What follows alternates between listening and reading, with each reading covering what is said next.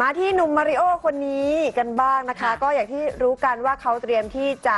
รับบทในละครเรื่องบ่วงบรรจถรณ์นะคะ ก็เรียกว่าต้องเป็นสุภาพบุรุษเลือดนักสู้ แล้วก็มีความสามารถรอบตัวที่สำคัญต้องขี่ม้าเก่งเป็นเลิศด้วยค่ะ งานนี้ก่อนที่จะเปิดกล้องถ่ายทำกันนะคะบรอดคาซท์ค่ะก็เลยส่งมาริโอ้เข้าคลาสเรียนขี่ม้านะคะเพราะว่าตลอดเวลาที่เล่นหนังเล่นละครมามาริโอ้เนี่ยเคยขี่ม้าเล่นๆเท่านั้น นี่เป็นครั้งแรกค่ะที่จะได้ลองหัดขี่ม้าจริงจังนะคะ ก็เรียกว่าต้องเรียนตั้งแต่พื้นฐานเลยค่ะพี่แหม่มทำความคุ้นเคยกับน้องม้าก่อน เรียนรู้การทรงตัวบนหลังม้า แล้วก็การบังคับทิศทาง แต่เห็นว่าไม่กี่ชั่วโมงค่ะพี่แหม่ม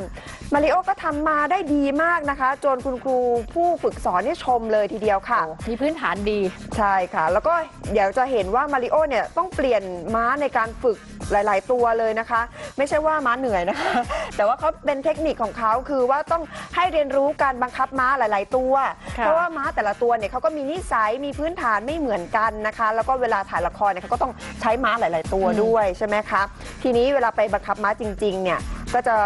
มีต้องเข้าฉากในหลาย ๆ ฉากเลยทั้งเดี๋ยว แอคชั่น ค่ะ แล้วก็มีฉากหวานด้วยนะคะพี่พาใหม่ดาวิกาขี่ม้าชมเมือง ค่ะ เดี๋ยวไปฟังเสียงสัมภาษณ์ของมาริโอนะคะ มันก็โอเคครับก็สนุกดีครับ แต่ว่าอาจจะ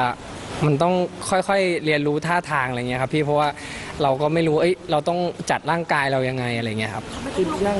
ลุกนั่งนี่นี่ยังผมถ้าพวกพี่ไม่มาผมยังลุกนั่งต่อเลยฮะ ลุกนั่งไม่นั้นเดี๋ยวเขาเรียกว่าบังเหียนก็ฟาดกับเอ่อสบารากู้ผมแล้วก็จะอาจจะปวดได้ครับนี่น้องขวัญใจครับชื่อเขา ครับ ผมก็รู้จักขอแลกไลน์กันแล้วฮะ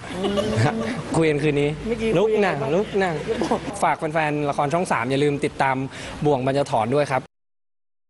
อ๋อ น้องขวัญใจนะคะ ค่ะแลกไลน์คุยกันแล้วนะ อ่า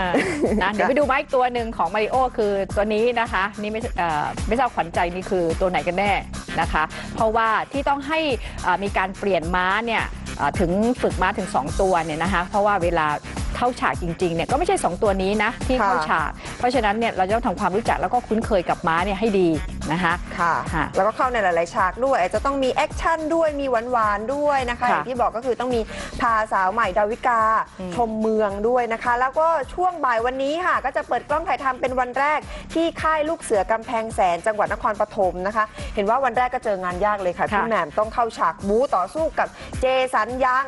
เพื่อชิงใหม่ดาวิกานี่แหละค่ะ เดี๋ยวเบื้องหลังเป็นยังไง เดี๋ยวเก็บภาพมาให้ชมกันพรุ่งนี้ค่ะ